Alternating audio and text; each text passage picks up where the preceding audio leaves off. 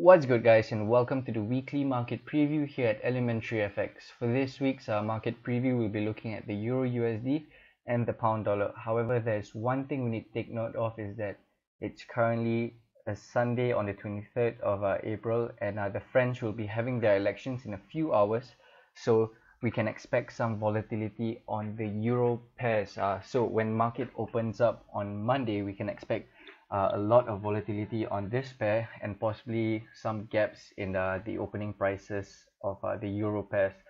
But for the sake of this analysis let's um let's just uh, keep that out of our minds and let's just do our analysis on a normal basis. So this is the euro usd on the daily chart. And as you can see like i've mentioned previously from our our previous weekly market preview that the euro usd has been in a range on the daily chart. Let me just uh, correct that out for you. If I copy and paste this you can see that we in a range price has entered this range. Uh, found support here found resistance found support found resistance and found support once again here. So if we move down to the four hourly chart um actually there's a few ways we can tackle this um tackle this uh opportunity this pair right here because um when I did this when I did my analysis on this pair a few days ago I I spotted a potential Gartley pattern. Let me just draw it out for you um just to keep you this is our X to A leg right here. So if we use an a Fibonacci retracement from this swing high to this swing low uh, you can see that price rejects the the pair rejects this uh, area which is also the 618 area. So this gives gives us a valid X to A leg and A to B leg. And this the next leg we'll be looking at will be the B to C leg. And uh, this would be in the range of the 382 to 618 level of this leg right here. So if I were to use the Fibonacci retracement swing low to swing high you can see that price very nicely comes into that 382 level before rejecting it. So we have a potential uh, this would be a valid leg. So the next leg we want to look at which is the CD extension uh, CD completion leg will be an extension of this leg right here.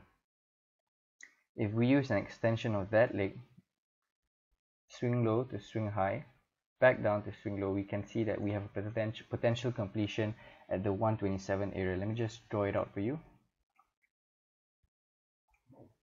X to A A to B B to C and potential completion around here and if I were to draw a line of uh, in that area for you you can see that price rejects this area very nicely as resistance. If I were to look left you can see that we have more resistance here. So recently price has rejected this area suggesting that if price were to come up in this uh, area right here our CD completion we could potentially look for a short entry. That's one way to tackle this um this pair. However there is another way we can look at this pair. If we use the ranges if we use the range of this um of this pair that it is currently in. Let me just get rid of the lines for you and let's focus on the range this range that price is in right now. All right.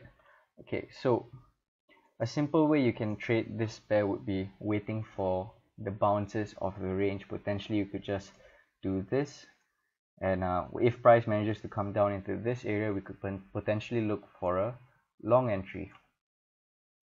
However um, uh, this would be part of our SFR analysis as being structured and we have identified that price has rejected this support line right here in this range. So now we want to look for potential Fibonacci confluences with that range. And one thing that one uh, level we can look at would be on the daily chart. Let me just uh, draw a swing low to swing high for you. If we use this swing low to swing high we potentially have a 0.5 level coming right at that uh, bottom range. As you can see the 0.5 comes here very nicely. And if I were to go down to the 4 hour chart you can see that we have a potential extension of this leg right here. If I were to use an extension of this swing high to swing low back up to swing high we have a 1618 lining up very nicely with with that um that 0.5 retracement level. So if price manages to you know consolidate around here before coming right into the confluence zone right here of our channel and our Fibonacci confluence we could potentially look for a long entry. However if price doesn't do that instead it just comes down into our range here you could potentially uh, just forget about the uh, channel right here and um and just have a long entry here. But let's say if price opens up on Monday comes down into this area. Do we have any any area of structure? Because structure is our most important. We have some consolidation around here. We have support. We have very nice resistance resistance resistance. So this could potentially oh this would be a very good level actually. We have a lot of recent structure. Price has been rejecting this area and respecting it multiple times. So if price manages to come into this area we could potentially look for a short entry. Ah sorry a long entry right here. Uh, try not to be confused with the 0.5 level. This is the line we want to look at. You can see that price rejects this area multiple times here. So this could be a potential long entry. However a more favorable and more um, a more safe position we want to take would be if price just consolidates around here in the form of just doing this before it comes down into this area possibly price being the RSI being oversold before we go for a long entry. Uh, one more thing I want to speak about uh, regarding our our Gartley pattern. Uh, it's currently a, a valid Gartley pattern. We have our X to A A to B B to C and possibly a CD completion coming right around here. It's only invalidated uh, if price if this continues to push down past the A leg possibly very close to the A leg because as you know the valid range would be a, a 382 to a 786 level. Sorry yeah 886 level. So we potentially have a range like this. If price pushes past this zone then it is uh, definitely an invalid Gartley pattern however if price pushes down into this zone we could potentially use our previous analysis trading the channel and just go for a long entry. So this has been the euro usd on the 4 hour chart. Next up you want to look at the pound dollar. So this is the pound dollar on the daily chart and as you can see price has been in a range ever since brexit and ever since the flash crash that caused this candle right here. So uh, let me just make the lines less less thick okay so we have a range right here. As you can see price came down into this range. Uh, found resistance here found support almost found resistance. And basically it's uh, just it's just moving very uh, very slow consolidating very slowly. However if we were to go down on the four hour chart when before markets closed on Friday you can see that the pound made a big push up for about for about 300 300 over pips. And um causing it to close above our our range that we have identified. So naturally with this move right here we could potentially look for a long entry because price broke out and closed above the zone suggesting that price is in a bullish mood right here. And uh, recently you can also see that price has been making lower highs and another higher high right here so uh, if we were to use uh, this um, this analysis we could potentially go down to the hourly chart and we can spot a bullish flag right here. As you can see we have our bull right here and we have a flag like this. If I were just copy and paste that you can see that price respects the top of the flag the bottom of the flag resistance support. So potentially we could look for more bounces of here and here before price eventually shoots up. This is the conventional way of trading a flag pattern. Um, usually when there is a bullish flag pattern price will break out to the upside. Uh, however when there's a bearish flag price will break down to the downside. So this is something we'll be looking at on the pound dollar.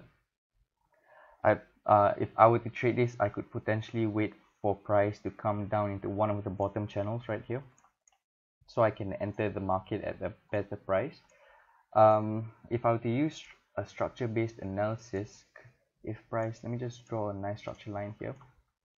No that's too low that's too below yep. So we can only rely on this um this flag right here for a potential long entry. Alright so this has been the weekly market preview. Um we gone we had we've gone through the uh euro USD we have a potential Gartley pattern and also a potential channel trading um opportunity. The pound dollar we only will we only have a potential uh bullish flag pattern. And um we could wait for price to retrace to the bottom of the flag before we look for a breakout. Uh, however one thing I want to let you guys know is that it's going to be a Monday tomorrow the markets open on Monday and I would definitely be staying out of the market considering that the French elections are happening in a few hours. So I would expect some a lot of volatility in the euro pairs possibly other pairs too. And um I will only start trading on Tuesday if the markets have settled down. Um I would like to uh I would potentially there could be potential gaps in the euro pair so that means if price closed here on Friday we could potentially see markets open up around here or here. Depends on how much the news affects the euro. So this has been the weekly market preview here at elementary fx i want to thank you guys for joining me and i want to remind you guys that um if you guys are not part of our private trading group do join us because we really have uh, very nice meaningful conversations about trading and all that good stuff. We also post trade setups and um trading setups and also potential pattern completion. So if you haven't joined do go to elementaryfx.com under the uh, members area you will see my membership. And uh, if you click it as a junior member you'll you'll see that we have uh, provided you with a link. Join the private trading group. So that's the analysis for this week. Thank you guys and i'll see you guys on monday for the daily market analysis